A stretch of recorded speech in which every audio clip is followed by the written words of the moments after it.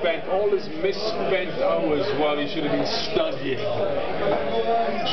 Getting legless with not me. Do you remember that uh, Thursday afternoon, Nick Fiddian, double Nick Fiddian in the afternoon? to get away from Nick Fiddian, we would be here. Maybe Chris as well. We would book our booth and we would spend the rest of the afternoon